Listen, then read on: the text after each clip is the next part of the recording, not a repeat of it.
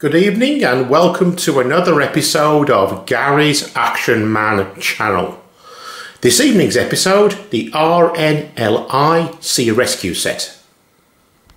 Released in 1974, this set was an adapted version of the 1969 Breeches Buoy with some slight changes and additions.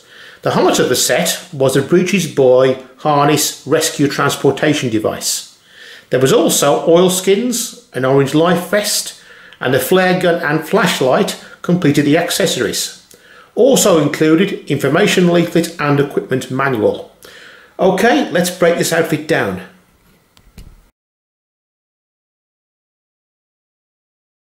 The plastic oilskins consisted of jacket and trousers.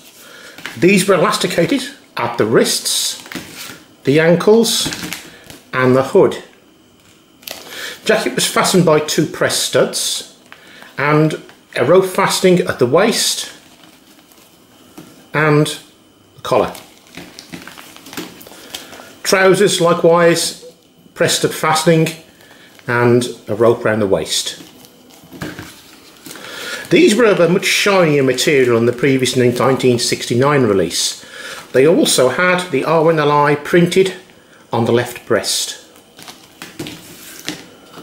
Short brown boots. An orange life jacket.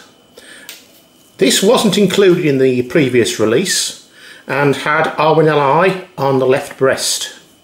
It was fastened by three hooped straps. They're fastened together by three small rings one of which was a split ring enabling the uh, hoops to fasten together.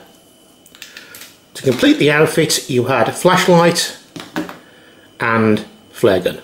Right, let's have a look at the breeches buoy itself.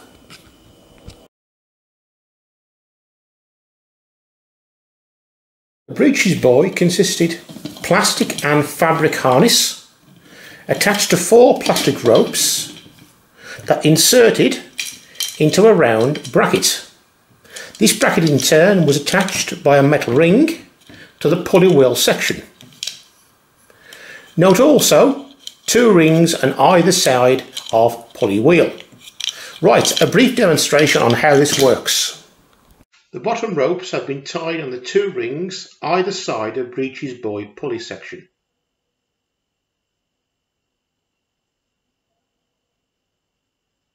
Main top rope slots in under this lip and pulley wheels run along it. Pulley wheel section now places over top rope.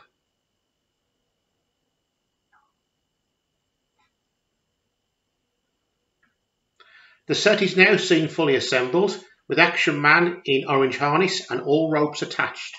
Note two bottom ropes need to be as slack as possible for efficient use of harness. Top in contrast needs to be pulled tightly.